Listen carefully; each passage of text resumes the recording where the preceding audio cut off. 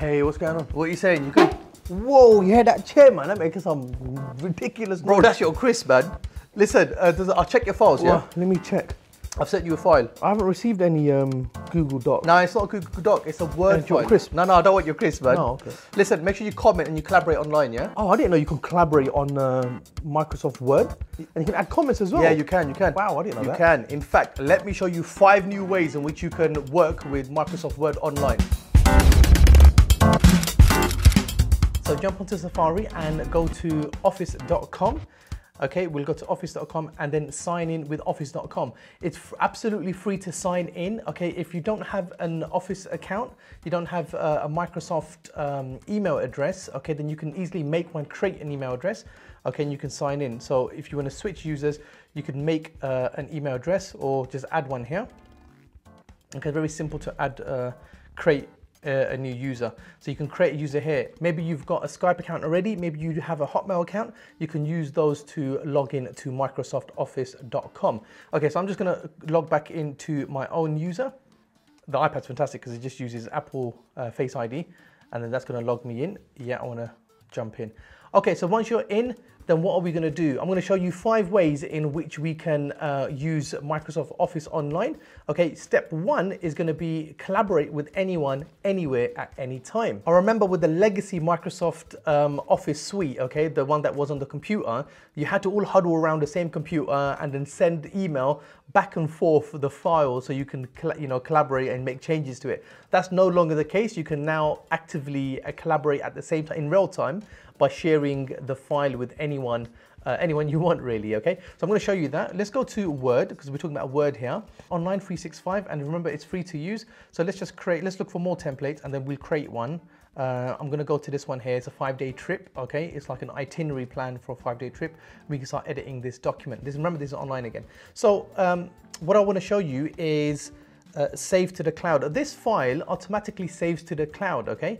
And you can see here, in fact, we, can, let's change the name of this document. Okay, we'll call it our five day trip, okay? Our five day trip. And I'm just gonna say, remember to smile. Because we're all stuck in lockdown and it's getting a bit bleak. So this is what I'm gonna call um, this file. Now this saves automatically to the cloud. Now depending on whether you have an enterprise uh, email address, like a company email address, or you have your own personal, you know, you've signed in um, for free online on your personal account, you can have up to 25 different iterations of this uh, saved file. So if you go here, you can see version history. Now we've just created this, so there aren't any um, updates to this document, but you will see a list of, you know, 25 different versions uh, that are saved to the cloud so you can go back and make the amendments if you want, okay? We can also share this document with anyone we want so we can have different collaborators to uh, edit this document in real time. If you just go to the share button, and you can just put an email address here. So I'm gonna email it to myself, or I'm gonna email it to a different account here. And also, while, while you're sending it, you can add an extra message. So I'm gonna say, hey, check day three and please comment on the itinerary. And then I can send this out. Also, uh, it says anyone with the link can edit. and You can change this if you want, okay? So allow edits. You can have, an, you can set an expiration date. You can set an expiration date. You can set a password. Okay, so if we set some particular password here, gonna say one, two, three, four, and it tells me it's a weak password, but that's okay. So I've set a password here and I can even set an expiration date here. So let's say for the 30th of July. So now I've sent that to myself to collaborate. Let's just say that was the second person sitting there for him to collaborate on this document uh, and the link set. Now I'm going to open that up as well and you're going to see that active collaborators can work on this document, okay? So let me just log into my secondary device here and here we go.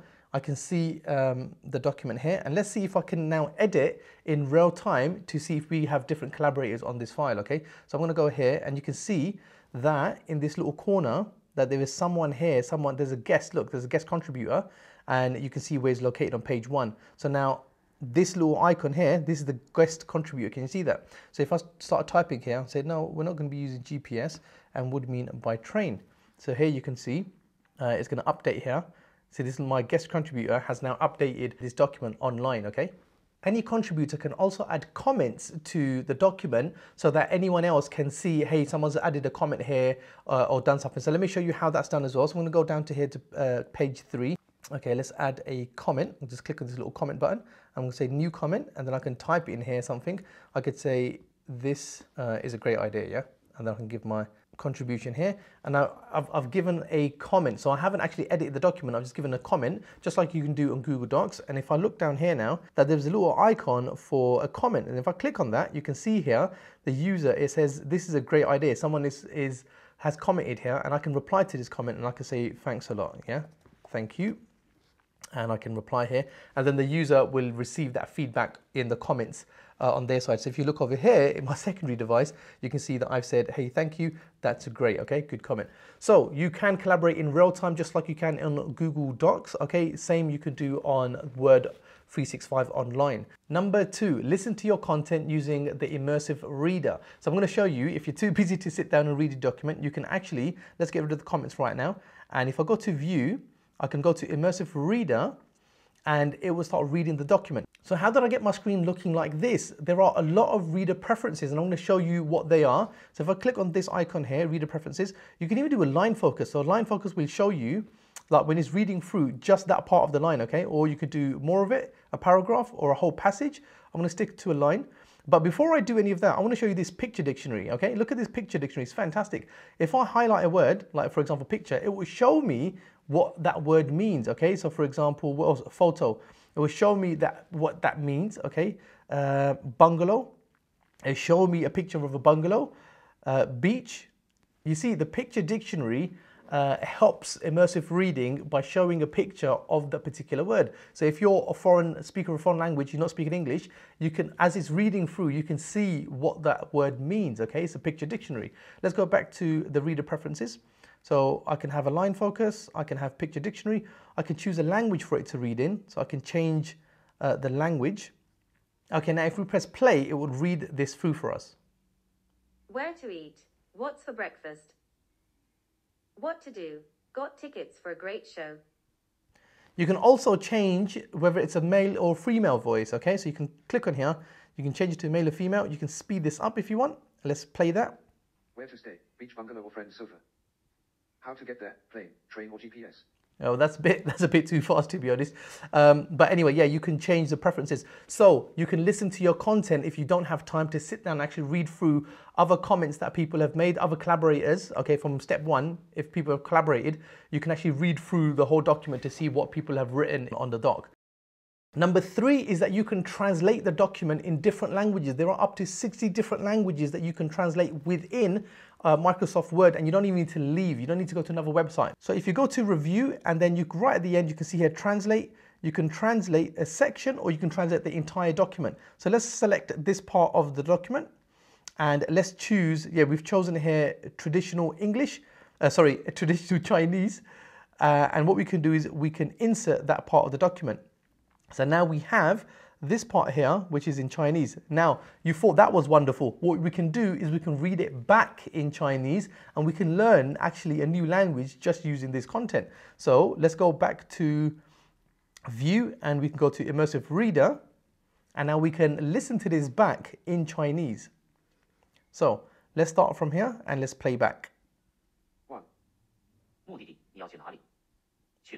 Well, that's a bit fast. Let's change these settings. I'm gonna go with the female voice and I'm gonna go to uh, just normal speed and let's play it back.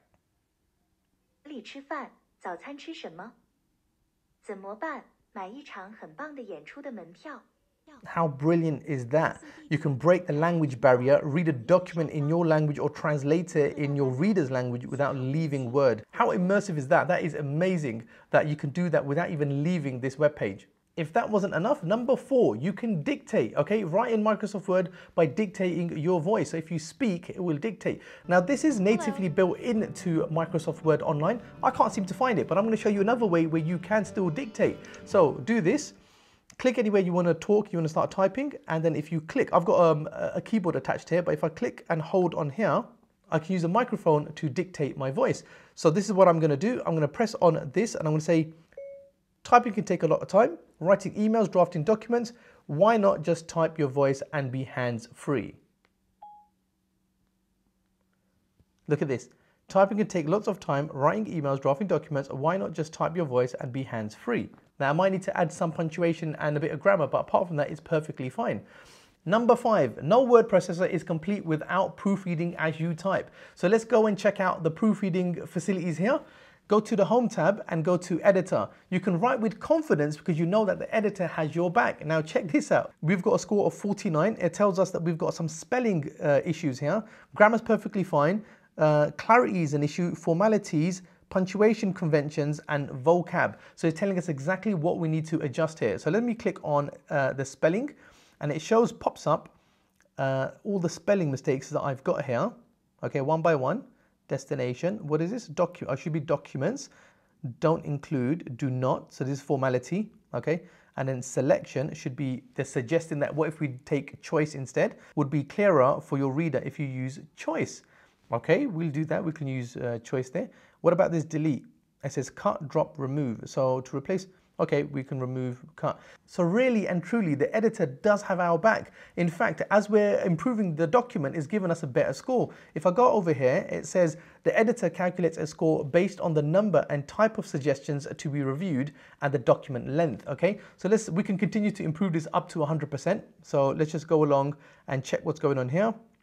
Okay, whatever, we'll take these Suggestions, that's another formality. Maybe this one was a, oh, it needed punctuation. Well, let's just delete that for now and see. Look at that, 98%. The only thing I've got left is one formality, and that's this, what is, okay? I change that, 99%. Punctuation convention, let's add our uh, comma there, and we've got, we're at 100% score now. So five new ways of working with Word, online 365 Microsoft uh, Word 365 online. It's absolutely free to use. Look at the facility that it offers. If you found that helpful, drop me a like and of course subscribe, turn on notifications. Uh, check out the other videos that I've made on uh, G Suites and of, of course Microsoft Office Suite. Okay, uh, and as always, I check you in the next one.